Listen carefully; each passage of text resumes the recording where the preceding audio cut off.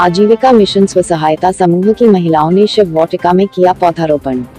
सुसनेर में रविवार को मुख्यमंत्री शिवराज सिंह चौहान के जन्म दिवस के अवसर पर नगर परिषद सुसनेर की राष्ट्रीय शहरी आजीविका मिशन के स्व सहायता समूह की महिलाओं द्वारा तहसील रोड स्थित शहीद पार्क स्थित शिव वाटिका में पौधारोपण किया गया।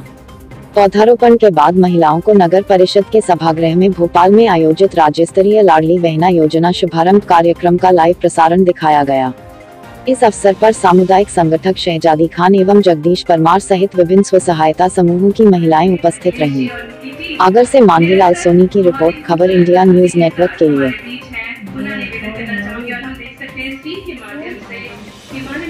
मुख्यमंत्री जी का